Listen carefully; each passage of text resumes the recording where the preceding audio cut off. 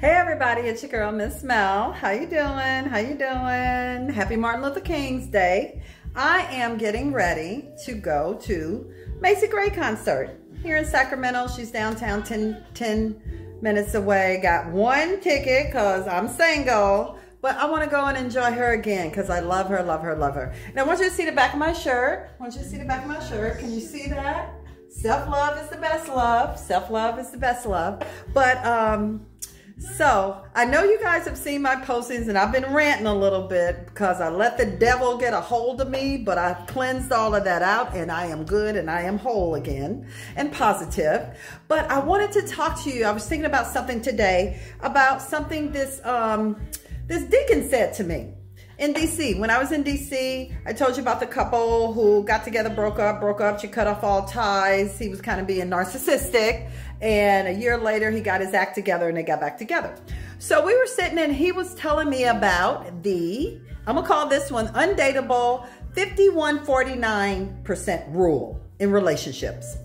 And the 5149% rule, eh, how he explained, explained it is, a lot of people think they need to be in a relationship and we need to be 50-50. I walk beside my man. I do all of this. We need to be 50-50.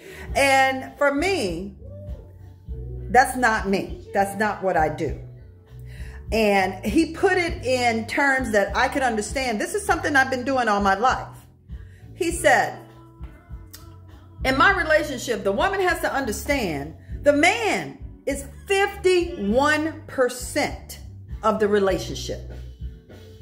Because he's the man. He's the one who pays all the bills, pays the mortgage, pays all the bills, um, uh, provides and protects. The woman is 49.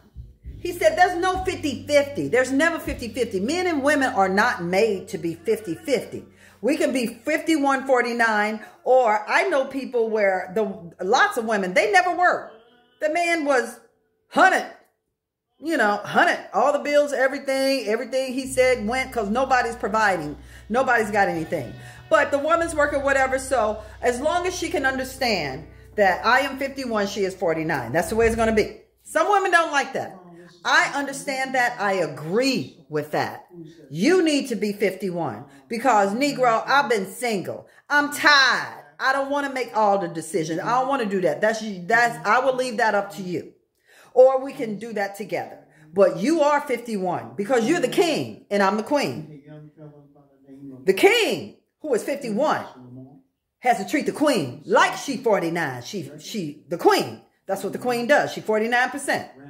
She don't make all the rules, whatever. But the queen, right behind the king, whispering in his ear, telling him what's right and wrong, doing all of that, blah, blah, blah. Because she the 49%.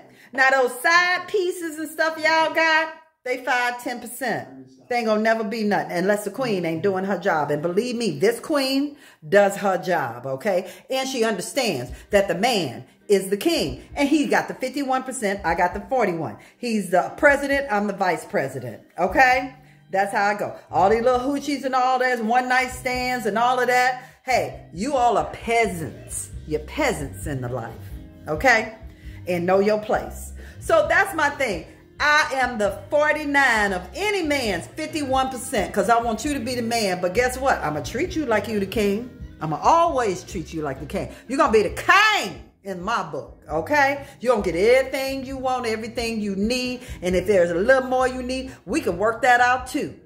But I'm not to be, never be that 5 or 10% for them jump offs and them side chicks, okay? So that's my whole thing about the 5149. If you agree, message me. If you don't agree, message me. But that's how Miss Mel works. Mwah. Have a great evening.